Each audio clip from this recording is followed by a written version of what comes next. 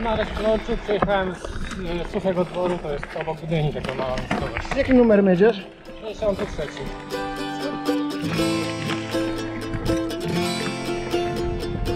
Skąd pomysł wzięcia udziału w takiej wyrypie? Przejechałem w zeszłym roku Wisłę. Pierwszy raz padłem na taki pomysł. Chyba jak każdy powiedziałem, że nigdy więcej. Ale jednak miesiąc minął i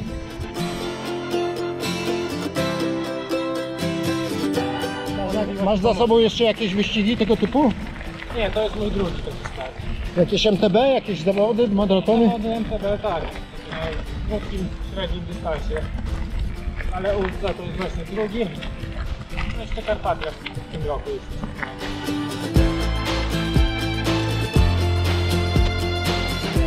Powiedz mi, spisz czy jedziesz do Gdańska jednym ciągiem? No mam zamiar bez spania. Zobaczymy co organizm ma.